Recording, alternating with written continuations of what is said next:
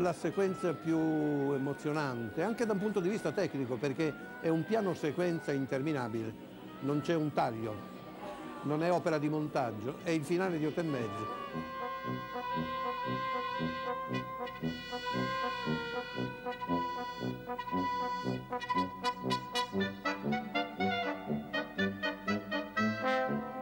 La scena dello zio matto, che non era il mio, era lo zio di Federico che era matto.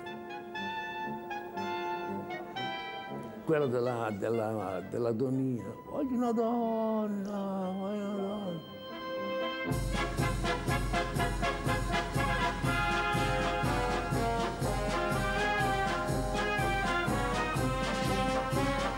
Posso dirne due?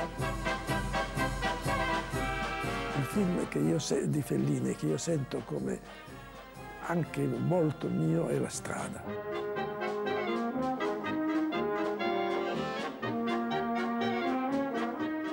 Non sono mai stato affezionato così a, tanto a una inquadratu- inquadratura, cioè o a una sequenza o a un film, perché mi sono dovuto sempre sentire eh, in ogni film eh, come fosse il più bello.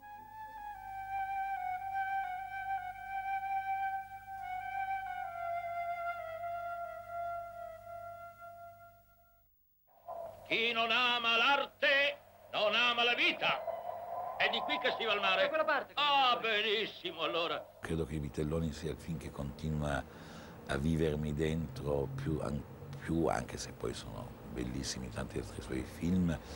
E ricordo quell'immagine quando Leopoldo Trieste, il capocomico, non so se vi ricordate, quando il capocomico omosessuale cerca di sedurre, di, c'è questa notte di vento e, e- e il capocomico dice "Vi- andiamo, vieni, ti- andiamo a leggere il terzo atto e lo porta in questa specie di inferno, nel buio verso la spiaggia. no? Quella è un'immagine, è una, non so, poi sai, a volte le immagini ti rimangono in mente per così, per una risonanza. Ti faccio forse paura. Quello è un momento, comunque credo che Vitelloni sia mm, forse uno dei suoi film più pieni, più straordinari.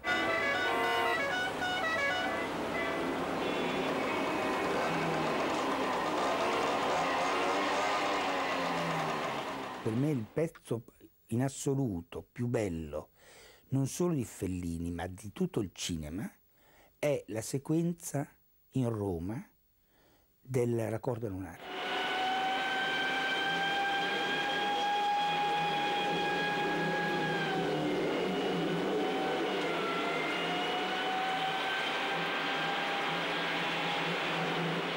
Sono dieci minuti, credo, veramente straordinari, dove veramente si capisce la possibilità di invenzione della macchina da presa. Per quella era una sequenza tutta inventata, non era dal vero, non era mezza, mm, mezza dal vero con la pioggia, no, era tutta inventata. Ed era straordinaria, era veramente straordinaria, con delle intuizioni poi poetiche in questa materia eh, bruta del- della pioggia, del fango, del baccano, del, del traffico. Era veramente unica. E lì non c'erano attori, devo dire. Lo scicco bianco. Tu poi, mia piccola,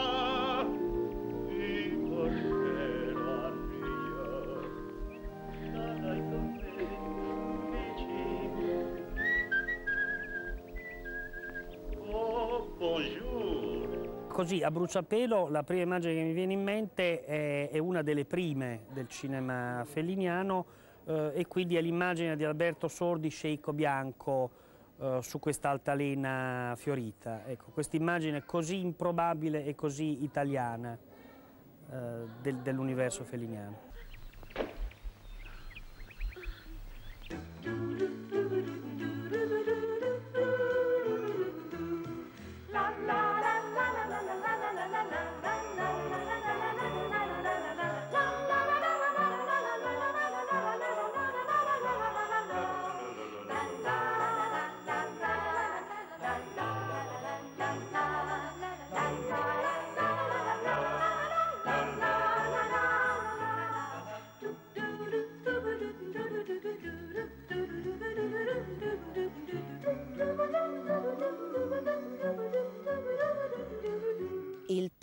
Di Amarcord con il papà a tavola che si incazza con i figlioli che avevano fatto qualcosa insomma di birichino e che c'è questo fantastico attore a capotavola che rappresenta il papà di Titta insomma in Amarcord che dice si attacca così alla tovaglia e fa Tua figlia la male!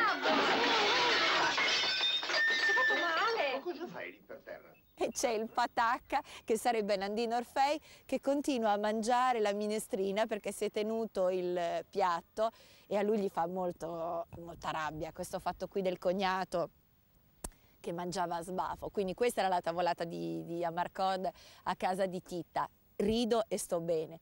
Invece un'altra eh, che mi fa piangere e nello stesso tempo che ho sempre voglia di rivedere è il finale della strada.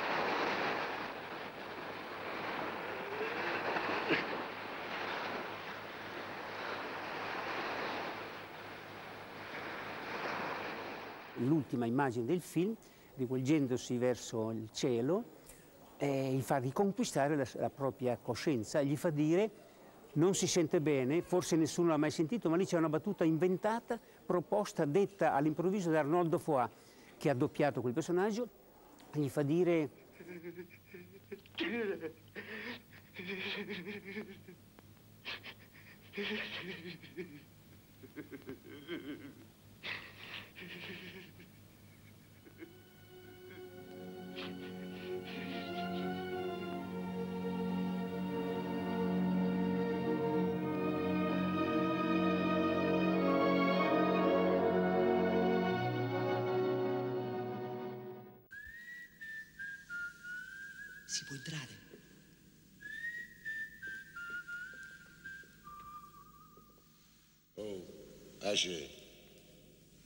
Che vuoi? vattela a piander culo.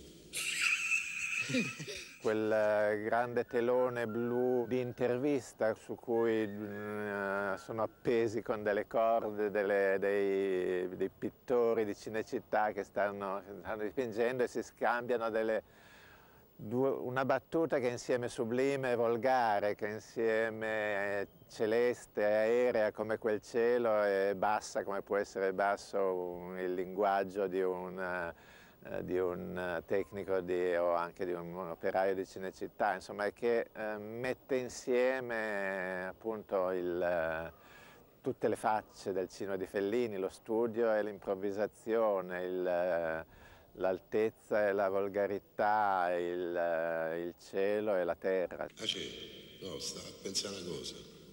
Che cosa? Perché non te la vai a piander culo?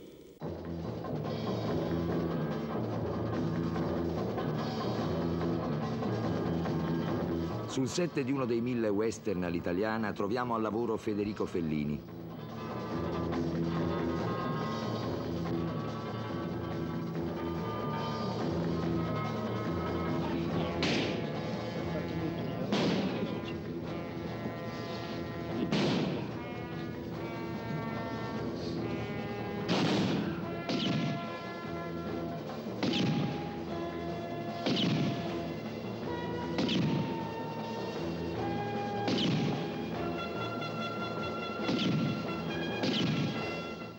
Proprio lui, gira un western, è possibile. Ma è un western che fa parte dell'episodio del film Non scommettere la testa col diavolo.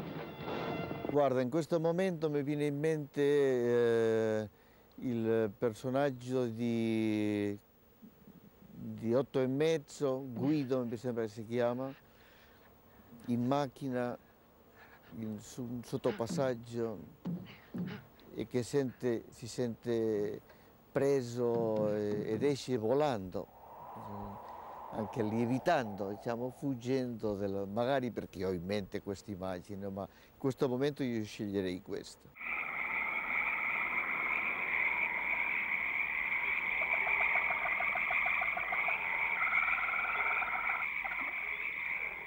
La scena che più mi rimane dentro del cinema di Federico Fellini è la scena finale della Voce della Luna. Eppure io credo che se ci fosse un po' più di silenzio, se tutti facessimo un po' di silenzio, forse qualcosa potremmo capire. È, secondo me, il grido più forte che Fellini abbia lasciato eh, negli ultimi anni e credo che sia mh, anche eh, la scena eh, del suo addio, del suo eh, arrivederci mi piace dire, mai addio, arrivederci perché con tutti i film che ci ha lasciato, con tutti i ricordi, con tutte le immagini che ha creato, ecco, mi piace sempre pensare che sia da qualche parte che combina qualcosa. Forse Amarcord, forse Amarcord.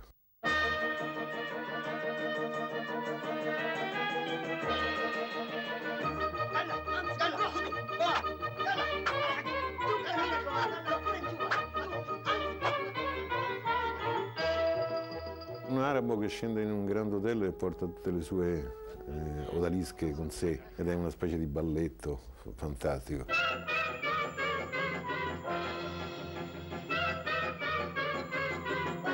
La prima che mi viene in mente dico la processione delle notti di Cabiria.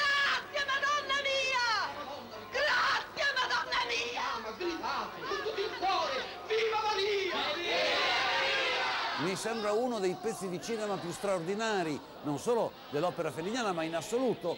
Ecco, eh, dove c'è tutto Fellini, a mio avviso. Ecco, tutto Fellini con tutta la ricchezza della sua straordinaria ambiguità, di quella eh, grande e positiva caratteristica del suo cinema, che è questa ambiguità semantico-espressiva, e con la straordinaria articolazione di tipologie psicologiche, sociologiche, umane, coronato da questo pezzo straordinario che è la reazione di Giulietta Masina, che, di Cabiria appunto, che dove si capisce che in qualche misura si era convinta che questo atto rituale ecco, potesse cambiare le cose, cambiare la vita, cioè cambiare il mondo.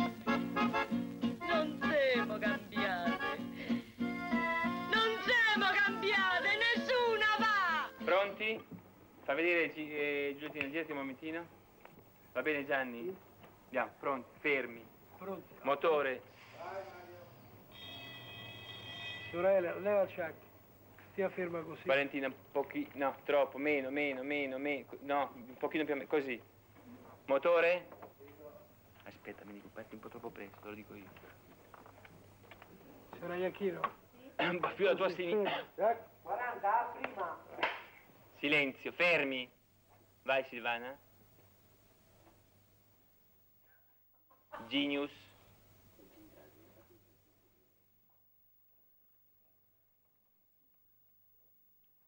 Giulietta.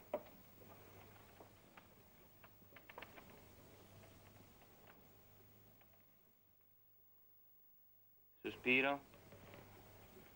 Stop. Se devo scegliere insomma, un'immagine più risponde così alla mia, alla mia sensibilità, alla mia esperienza, insomma, sono delle, delle espressioni che ha Marcello nella dolce vita, dei momenti, soprattutto so, quando parla con, con Alain Quigny, quando parla con Steiner, quando, quando, eh, va in giro e guarda, ecco, l'occhio di Marcello che, che- che guarda il mondo nella dolce vita, questo per me è Fellini.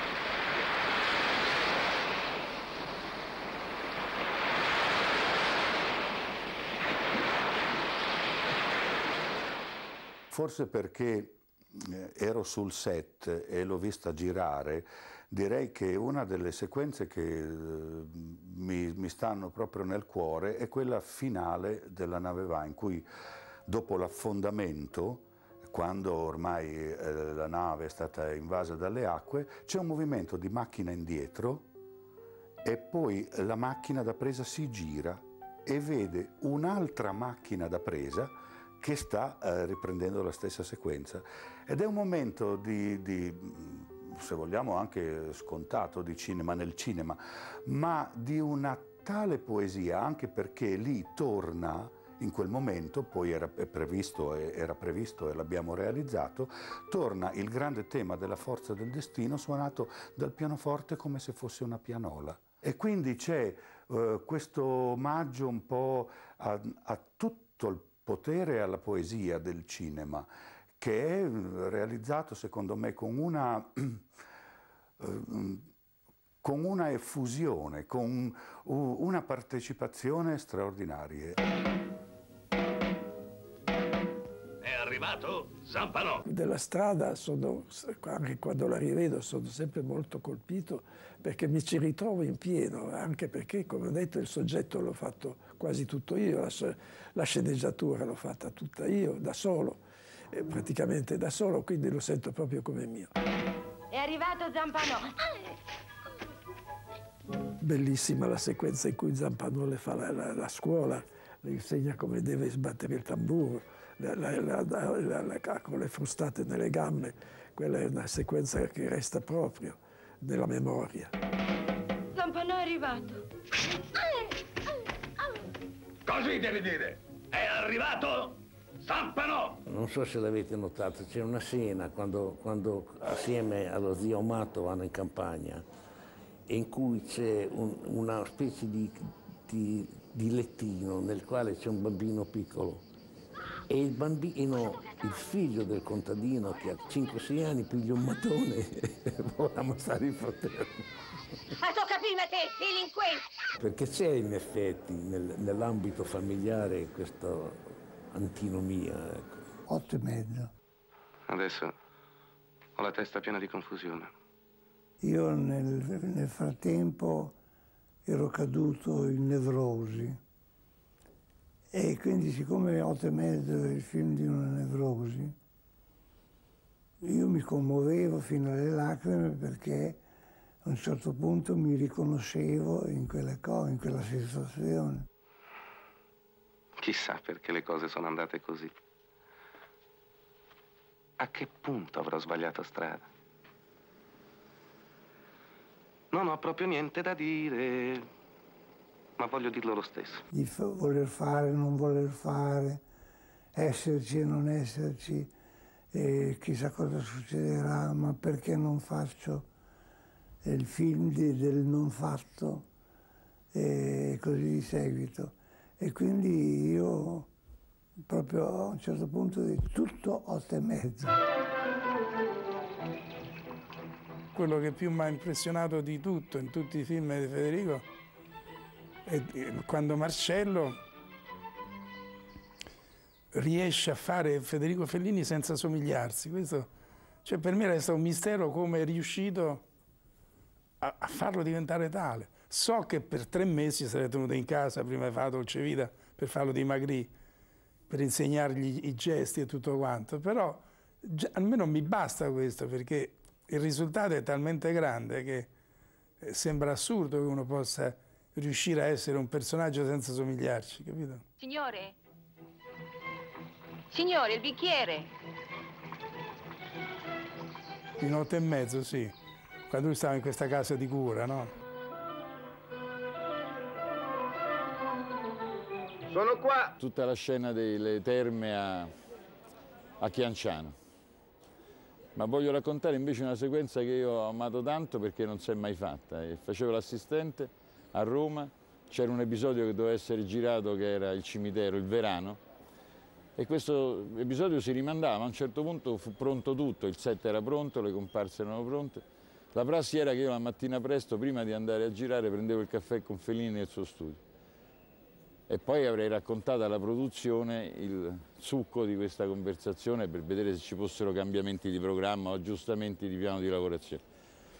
E quella mattina Fellini stava giocando con le monete, quel gioco che faceva sempre, che doveva determinare addirittura piccole cose nel destino della giornata e quella volta non fu tanto piccola perché dopo aver dopo essere stato in silenzio per dieci minuti, mi disse Paolo, noi oggi il cimitero, il verano non lo giriamo più, non lo giriamo né oggi né mai, dillo alla produzione, andò via proprio dal set, passando da un'altra porta. E mi ricordo la faccia del direttore di produzione quando io dovetti dargli questo annuncio che tutta questa roba era da, da buttare, comparse, scenografie, tutto. E mi fece anche lì una grandissima impressione di un potere assoluto, di una divinità.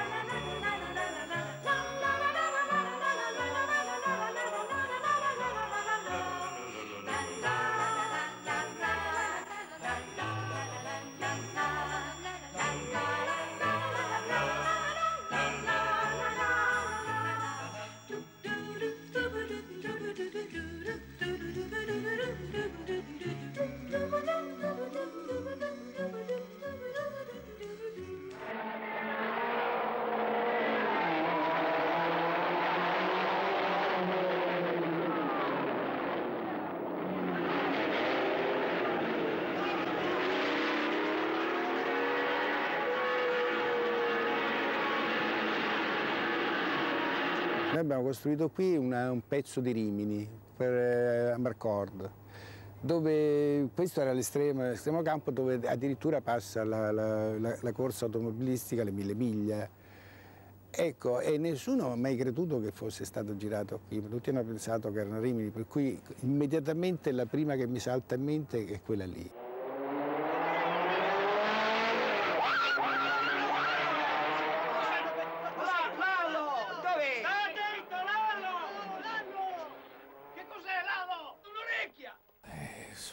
Sono, tantissime le, le immagini. Ma forse lo sguardo di Cabiria eh, quando non capisce perché questo uomo che, che lei ha amato eh, la vuole uccidere, insomma. E il suo sguardo incrocia lo sguardo dello spettatore con un senso di sgomento e poi al tempo stesso la ripresa della luce della vita nei suoi occhi nel finale. Le dissolvenze felliniane, e cioè eh, i finali generalmente, la scena finale dei suoi film, che se ci si pensa bene poi no, non è ripetuta, però concettualmente è sempre quella, è volutamente quella. E cioè sta a significare che i personaggi, da una scena finale che generalmente è sempre opulenta di personaggi, piano piano uno a uno, con dei voci, escono dalla scena, che è come dire che fuoriescono da una pellicola e finisce quasi sempre uh, con una spiaggia, con, con un mare, uh, con una voce fuori campo, che eh, è il saluto, è il vero saluto, che va a sostituire la parola fine che generalmente si usa nei film e che Federico non ha mai voluto usare, perché le sue storie sono storie infinite, sono storie che, che continuano, non c'è un inizio e non c'è una fine. Musica, maestro.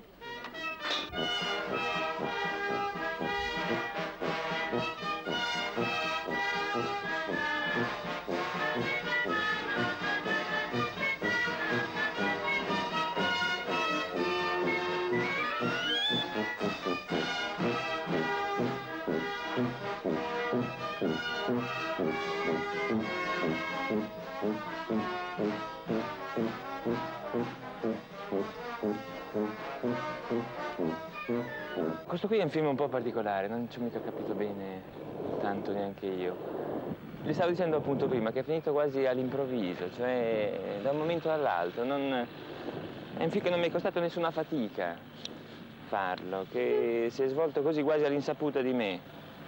E oggi è finito.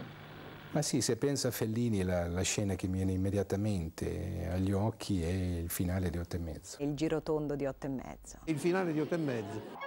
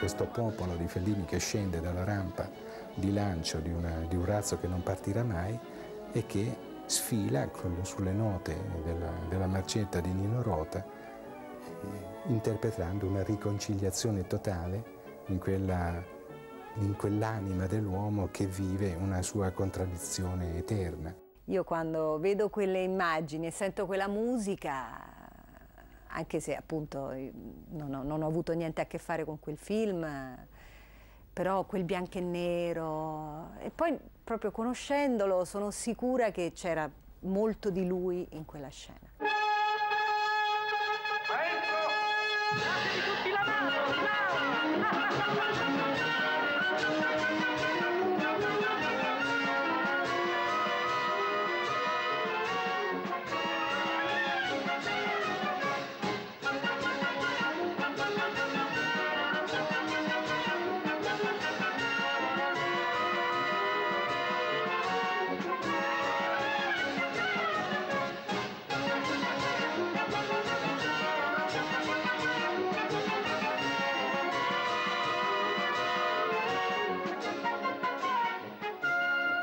Il finale di otto e mezzo doveva essere il trailer del film, girato in una serata che o veniva o non veniva perché era girata con luce a cavallo, quindi doveva venire per forza, e improvvisamente il finale è arrivato.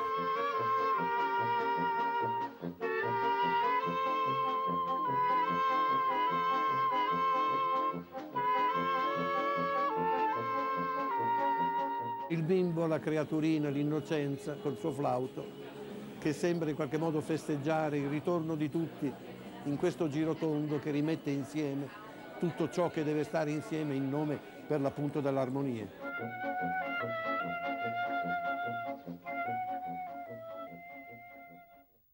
come autore, come autore e anche come spettatore, qual è l'immagine di Amarcord che ti piace di più? Ma sono particolarmente affezionato nella sequenza della nebbia a quel pezzettino dove si vede quel personaggio, il nonno, il vecchio, che esce fuori di casa con una certa baldanza e fa 4-5 passi nella nebbia senza vedere niente, senza capire niente e poi ritorna indietro e rientra in casa per morire. Ecco. Quell'immagine lì mi commuove ancora, mi, com- mi commuove nel senso così mi pare particolarmente realizzata, almeno a me. Ecco, eh, vorrei augurare a tutti noi di uscire di casa e di fare dei passi, ma non nella nebbia, e soprattutto di tornare indietro per morire avendo, avendo percepito qualcosa, non soltanto una, una, una parete così immobile, ferma, senza profondità e senza trasparenza. Che ne dici di sto finalino? Ti va?